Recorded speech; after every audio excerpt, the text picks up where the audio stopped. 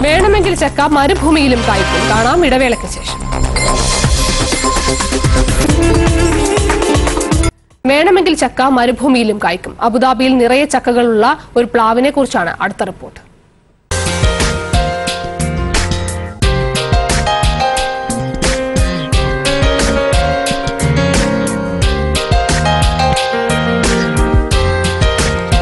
അബുദാബിയിലെ പ്രമുഖ പെട്രോളിയം കമ്പനിയിലെ മെയിന്റെനൻസ് ജീവനക്കാരനായ നൂറുൽ ഇസ്ലാം എന്ന ബംഗ്ലാദേശ് സ്വദേശിയാണ് ഈ പ്ലാവ് നട്ടുവളർത്തിയത്.